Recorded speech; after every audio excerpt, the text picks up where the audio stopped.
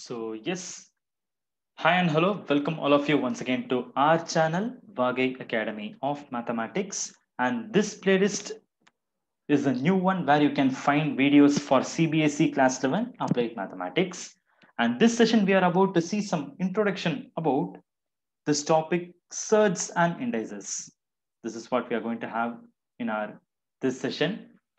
And we are about to see a few introduction and also we are going to see some important axioms that we repeatedly use here to solve the problems. And that's going to be the plan for this session. Yes, we go. So basically, surds, indices, exponents. What do you mean by these terms? So basically, what do you mean by an exponent? Because once we step into this topic, we must be knowing about what is an exponent. So what is an exponent? This is very easy for us to understand. An exponent is some expression which is given in terms of power. That's it. Okay. So we commonly use this kind of power expressions, right? So whenever we do mathematics, it is very common for us to involve these terms like phi square. Like we use 3 to the power 4 and we use 7 to the power 3. All these are going to be exponential terms. That's it. Okay. So coming here, what do you mean by this 5 square? This 5 square actually stands for 5 times of 5. That is, I multiply this 5 twice. Why twice? Because 5 is raised to the power 2. That's the reason. So I'm going to multiply 5 into 5. I mean, I'm going to five, multiply this 5 two times. So 5 5s are 25. That's going to be the answer. Same way, coming to this 3 to the power 4. This means I'm going to multiply this 3 for 4 times. So that means I will be getting 3 into 3 into 3 into 3. And this will give me 81 to be my answer. And last I have 7 power 3. This I can term it as 7 cube. So this is nothing but 7 into 7 into 7 because 7 is raised to the power 3. So that means I have to multiply 7 thrice, I mean 3 times. So this would give us 343. So these kind of expressions are what we call it as exponents, right? So exponents are nothing but you have a number which is going to be raised to some power. So any expression of the form x to the power y, we call it as an exponent, where this x you call it to be the base and this y you call it to be the power. So overall, some base raised to some power. This entire thing is what we call it as an exponent. All right? Yes. And here in this chapter, throughout, we are going to solve problems based on these kind of exponents only. But before that, we should be very clear with certain important basic axioms because using those axioms are what we are going to solve the problems. And in that case, it is important for us to know about the axioms. So what I will do here is I will list all the important axioms and also we will see the meaning. I mean, the explanation of all those axioms, okay? How they work, the meaning with some examples so that it would give a better clarity for you to understand. Yes, yeah. So coming to this axioms, there are going to be very importantly six main axioms. So let me list out them one by one. So let me give the heading here, the important axioms. So what are those axioms? Let's see them one by one. So the first one is, the first axiom is a to the power m multiplied by a to the power n is nothing but it is equal to a power m plus n. This is going to be the first axiom.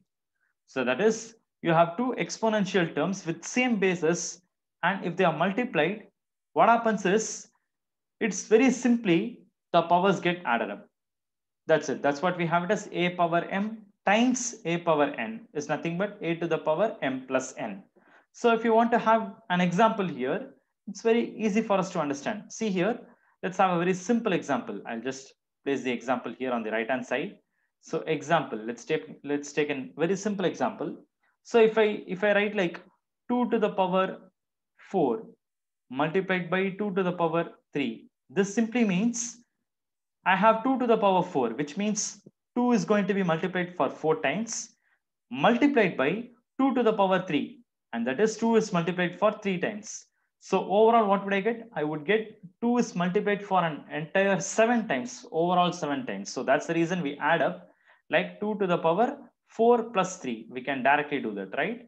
So this will simply give you 2 to the power 7. Okay, that is how the first axiom works. So it's very easy for us to remember. Yeah, coming to the second axiom.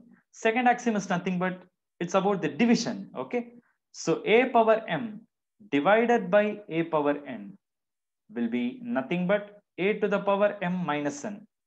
Like how we have multiplication, the right hand side we get added up, the powers get added up. The same way, when we have division on the left hand side, I mean, if we have two exponential terms with same basis getting divided, what happens on the right hand side is the power gets subtracted. Okay. This is again very simple for us to understand. Let's take the same example. For example, if I take 2 to the power uh, maybe 5, it is divided by 2 to the power 3. What happens on the left hand side? What happens is 2 to the power 5. That means 2 is multiplied for 5 times. You mean, I mean 2 into 2 into 2 into 2 into 2 into 2. You have 5 times, which is divided by 2 into 2 into 2, 3 times. So what happens is you will have 3 2's from the numerator and three twos from the denominator gets cancelled up and you will end up with only two twos, which is what is 2 to the power 5 minus 3. So when you have a division, you can actually subtract the powers the first one minus the second one. So the order is also important. The order is very much important. The first one minus the second. So 5 minus 3. Your answer is 2 square. That's it. Okay. And simplifying this and getting the answer, it is again based on the problem and how you have the answers. Yeah, fine. Yes. Coming to the third axiom. Third axiom is again an extension. So this says a power m to the whole power n is equal to a to the power m into n. So when you have a power of power, that is when you have a power, you mean how you, you have an exponent raised already and it is once again raised to another power. What happens, what happens is the right hand side you have, the powers get multiplied. That's it. Okay. So this is again very simple for us to understand. So for example, if you have 2 to the power 3, which is raised to the power maybe 4, your answer would be nothing but 2 to the power 3 times of 4. So 3 times of 4, which will give you 2 to the power 12. Very simple, right? Okay. Because it's very simple for us to understand because you have 2 to the power 3, that itself would be multiplied for 4 times. So that means you have 3 fourths. So that's the reason we multiply here 3 fourths, which would give up, which would give us 12. That's it. Okay. Yeah, fine. Next is, it's about a negative power. What happens if you have a base a which is raised to a negative power? What happens?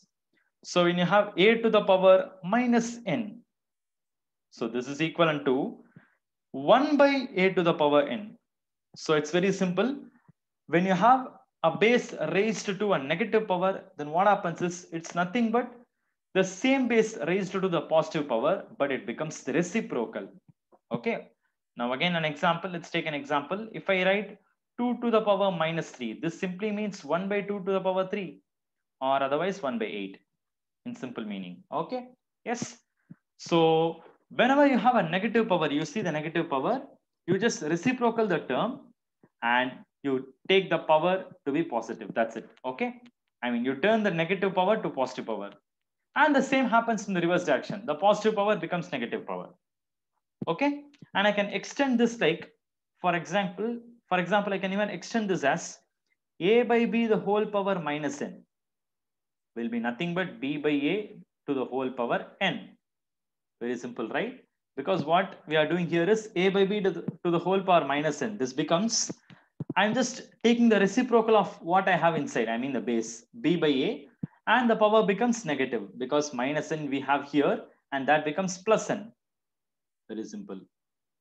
Yeah. Next one.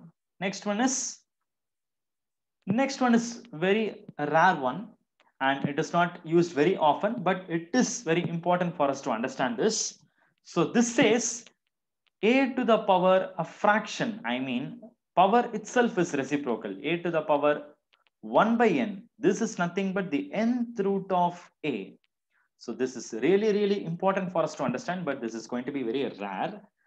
Yet here in our chapter, surds and indices, this is going to be very much frequent. Okay. So yes, so this let's try to understand with some example once again. So for an example, if I want to understand this, so let's take a very simple example. Okay, yes. So suppose if I take 25 to the power half. So this simply means, it means the square root of 25. I know square root of 25 is 5, right? So this is what it means. Same way, for, for clarity, I will take one more example. Suppose if I take 343 raised to the power 1 by 3. So this means cube root of 343. So cube root of 343, it's nothing but 7. Because just now we came across one example, right? See here, I know that 7 power 3 is 343. So it's 7 cube that gives 343. And the same thing I'm using here in the reverse direction. Cube root of 343 is 7. Okay.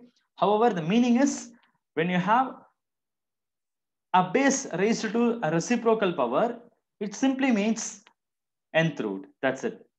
Okay. Yes. That's what this axiom says. I mean, our fifth axiom would say. So here, if you take this first example here, 25 raised to the power 1 by 2, we don't indicate the 2 here. Why? Because it is default. We default in default way we understand that simply root means it's it means square root. That's it. Okay, that's reason. And similarly, if we come to write like, uh, oh, for example, if I if I come to write 6561 raised to the power 1 by 4, this is nothing but fourth root of 6561 and and if you factorize and if you get so you will get the answer to be 9 for this one. Okay? Just for a clarity i'm giving some extra examples here.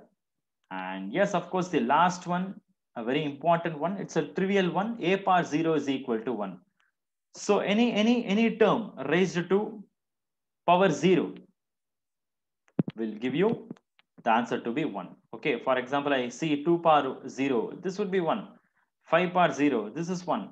7 power 0, this is 1. 1 power 0, this is 1.